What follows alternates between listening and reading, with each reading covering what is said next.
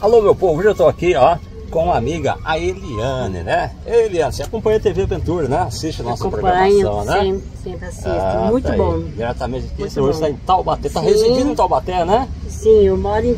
Bem, eu moro em Tremembé, mas trabalho em Taubaté. Ah, mora em Tremembé, trabalha aqui em Taubaté. trabalho em Tremembé e E você estava me contando aqui pra mim, conta aqui pro pessoal que tá assistindo, que você já participou do programa do Silvio Santos, é já, verdade isso? já participei daquela, É. do jogo da latinha, onde Ah, saía cobra e você não ganhava nada, mas se você tirasse a pro, você ganhava uma bicicleta. Eu cheguei a ganhar a bicicleta.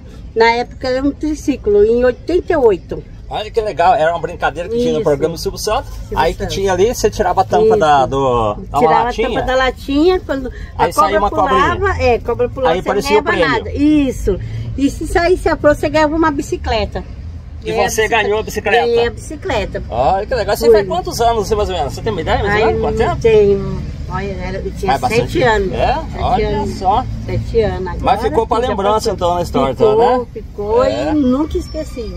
Foi até um. Foi a escola que levou a gente para conhecer o programa Silvio Santos, né? Aí eu participei porque ele me chamou. Ele me viu lá, me chamou e pediu que eu abrisse a latinha. O primeiro escolheu, pediu para mim escolher se eu queria o dinheiro ou a latinha. Eu falei, não, a latinha, a latinha. E tirei, ganhei a flor e ganhei uma- um triciclo na época.